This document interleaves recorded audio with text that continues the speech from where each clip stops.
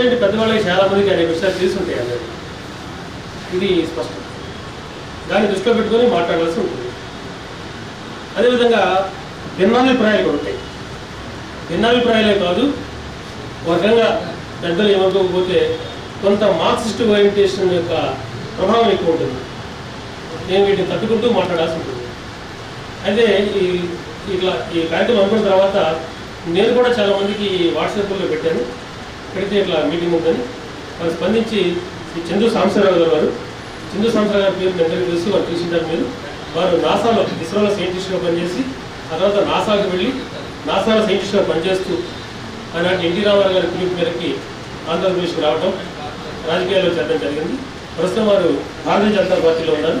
వారికి నా యొక్క ప్రత్యేక కృతజ్ఞతలు. ఎందుకంటే ఆ చిన్న వాట్సాప్ మెసేజ్ వచ్చాను అదేవిధంగా మా మిత్రులు రమణరావు గారు మా Bharat Vikas Parishad joint secretary AP Parabrahmam గారు మా నాగపూర్ గారు పొలిట్ మిలిషన్ అదే ఇద్దరు చాలామంది.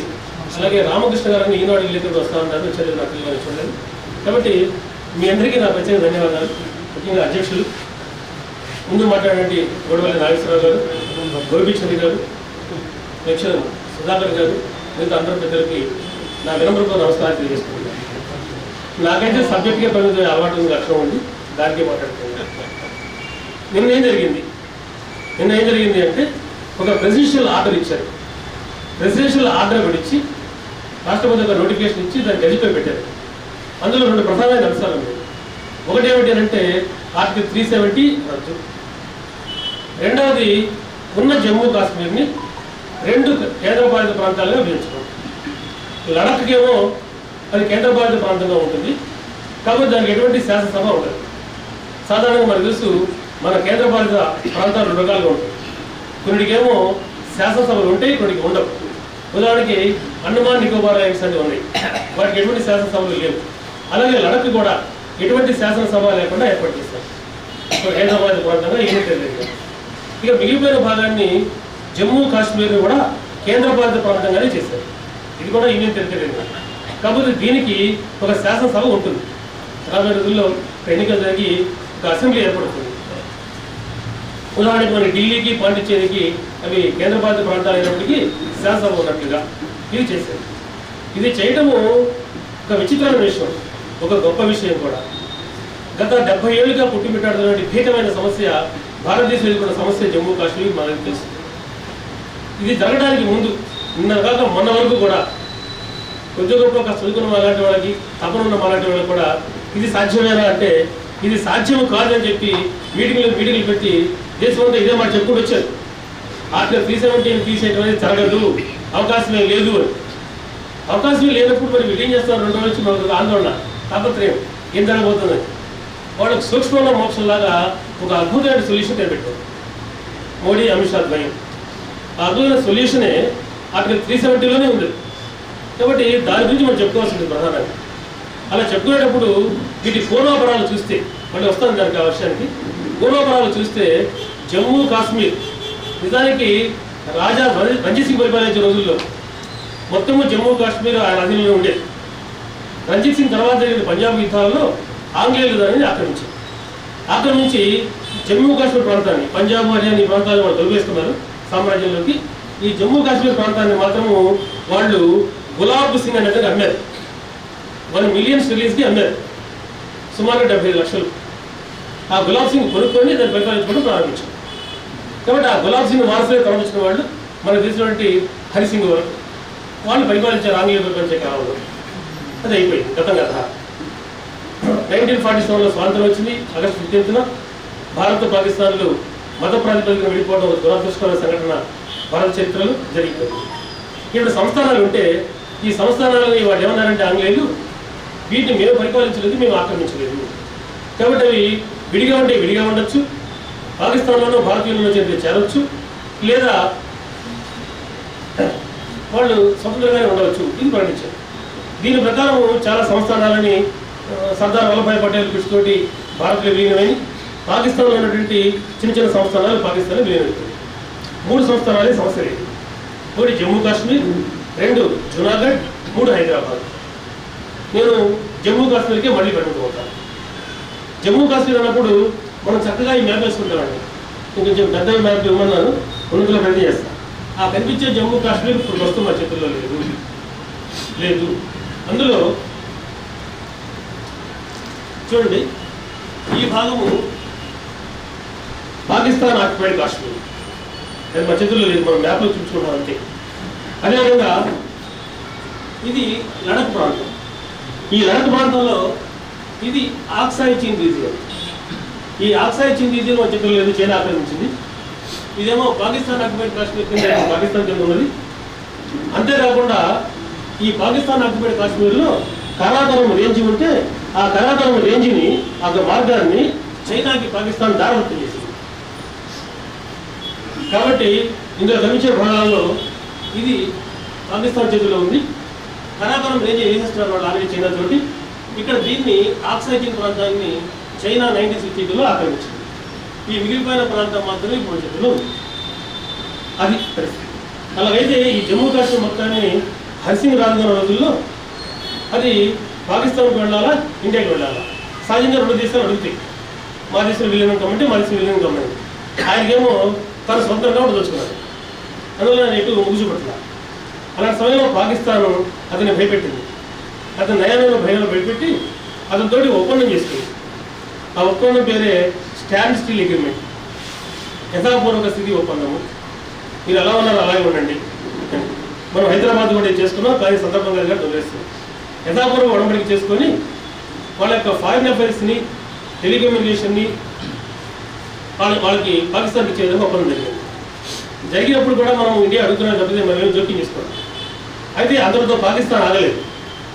ఆగకుండా అక్కడ గిరిజనులు నచ్చగొట్టి గిరిజనుల్ని విప్లవం లేవదీయమని చెప్పి పేరు పెట్టి అక్కడ గిరిజనులు రెచ్చగొట్టి గిరిజనులు రెచ్చిపోవడం అనేటిది వీళ్ళు చేసిన పని.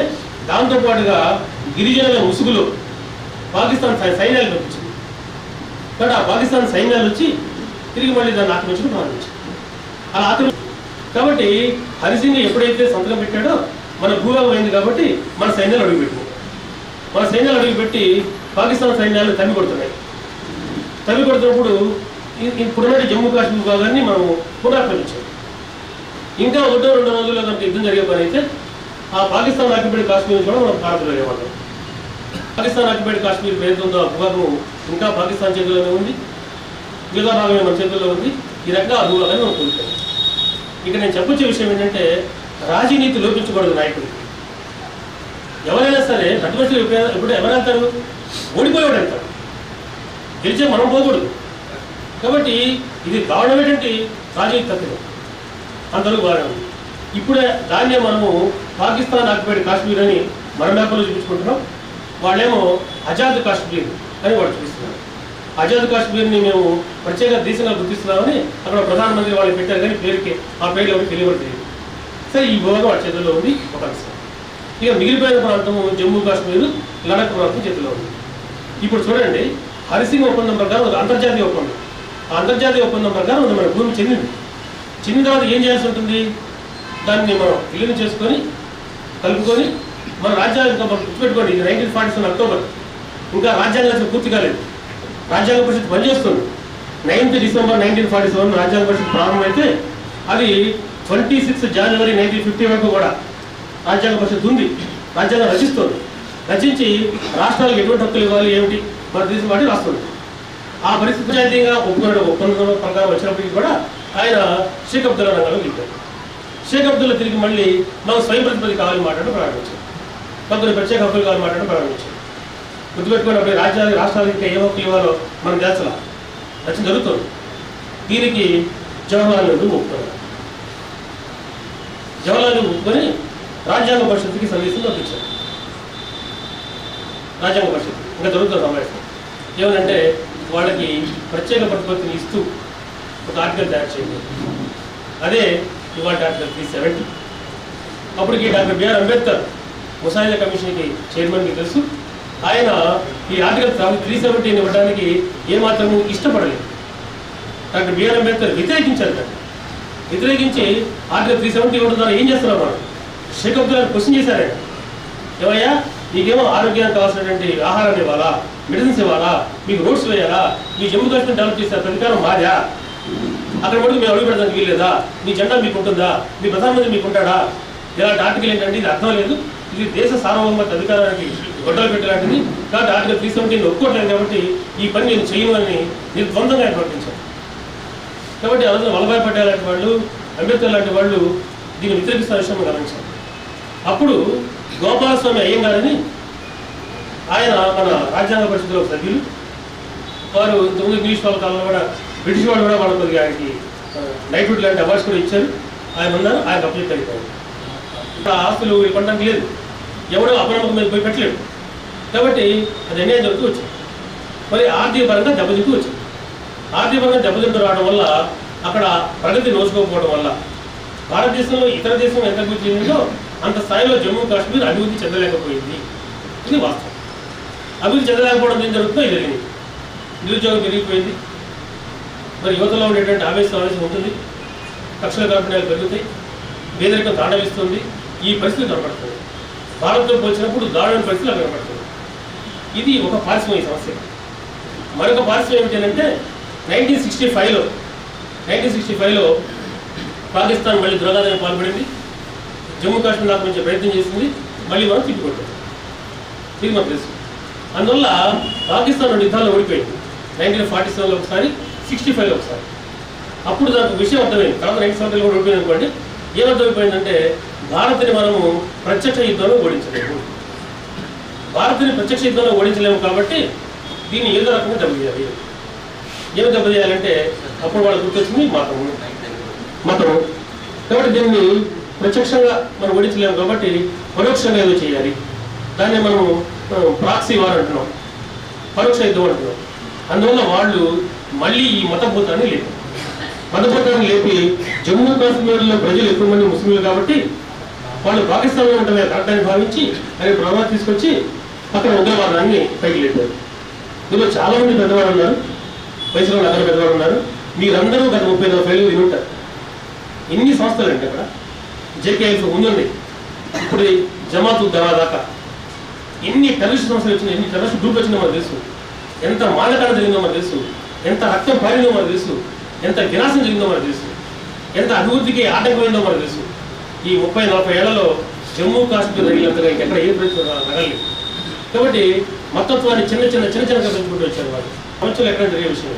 కాబట్టి ఈ రెండు కలిసిపోయి జమ్మూ కాశ్మీర్ అల్లకలం జమ్మూ కాశ్మీర్ అల్లకలం అయిపోతే దీనికి సమాధానం ఏమిటి?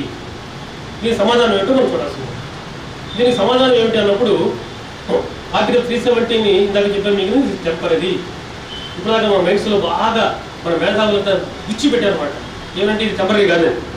మీరు ఆర్టికల్ త్రీ సెవెంటీ చదవండి ఇబ్బంది లేదు. నేను చెప్పిన లేకపోతే నేను అడగండి.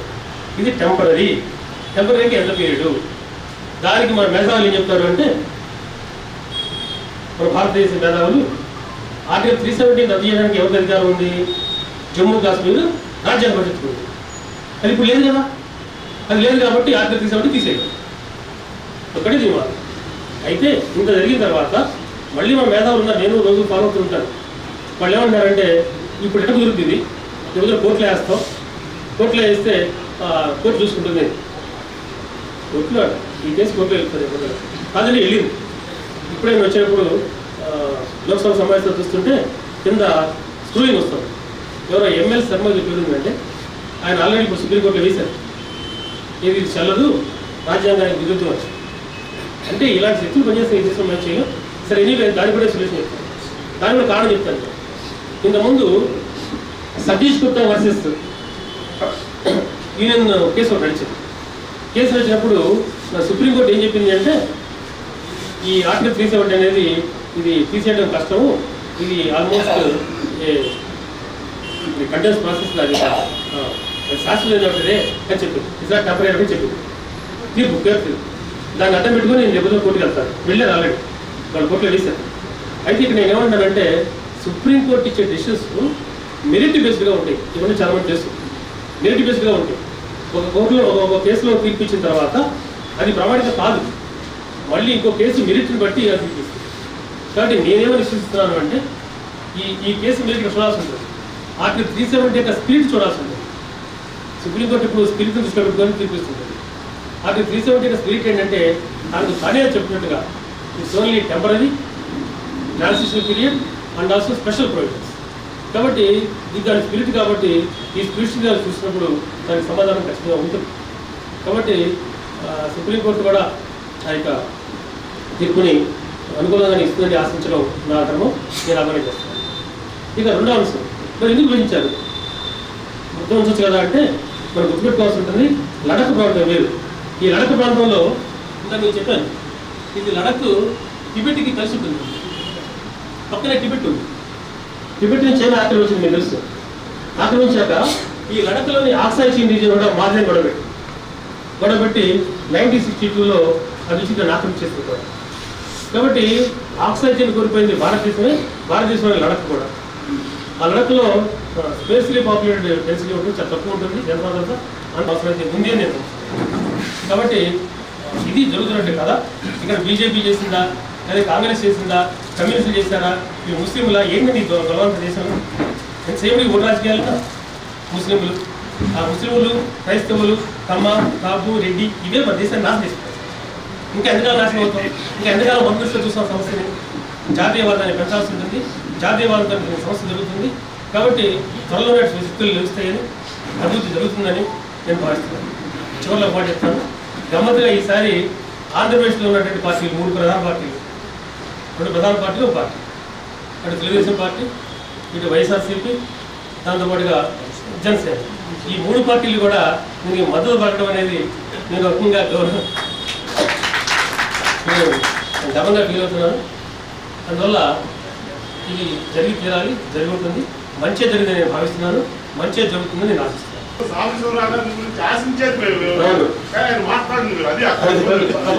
ఇప్పుడు నేను నేనే నేనే అడిగానండి ఇప్పుడు ఎన్ఐ గురించి మాట్లాడుకోండి అదో టాపిక్ మళ్ళీ ఇదే మాట్లాడుకోవచ్చు. ఉంటాయి. అలాగే నేను ముందే చెప్పాను. అవగాహనలో అనేక అభిప్రాయాలు వస్తాయి. నేను మాట్లాడిన దానికి సుధాకర్ గారు మాట్లాడిన దానికి కొంచెం తేడా ఉంది.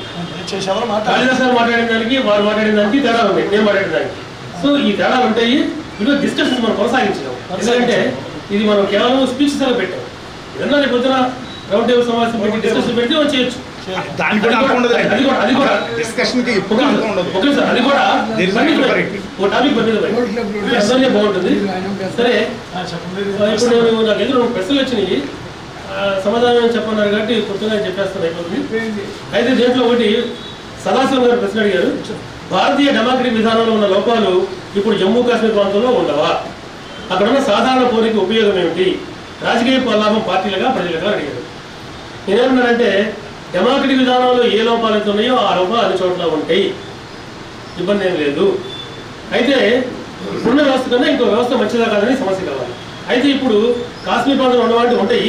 సాధారణ కూడా ఉపయోగం ఇప్పుడు సంస్థ గారు చెప్పిందని మీకు మళ్ళీ ఒక ముక్కలో చెప్తాను. దయచేసి నాకు వాదించదు డెబ్బై మూడు డెబ్బై నాలుగు రాజ్యాంగ సభ తీసుకొచ్చినప్పుడు రాజీవ్ గాంధీ గారు ఏం చెప్పారంటే మేము రూపాయి ఇప్పిస్తుంటే పాల మాత్రం అందుతోంది గ్రామాలకి. డెబ్బై ఐదు పైసలు పోతున్నాయి. వాటిని తగ్గించడానికి పంచాయతీలకి డైరెక్ట్గా డబ్బులు ఇవ్వడానికి రాష్ట్ర ప్రభుత్వం ఆపడానికి వీలు లేకుండా ఉండే విధంగా డెబ్బై మూడు డెబ్బై నాలుగు రాజ్యాంగ సభ తీసుకొచ్చా ఉన్నారు పెద్దలు దయచేసి అర్థం చేసుకోండి డెబ్బై మూడు డెబ్బై నాలుగు రాజ్యాంగ సభ వల్ల ఆ పరిస్థితి చాలా వరకు మెరుగుపడింది Please watch Tulsi News. Please subscribe to Tulsi News.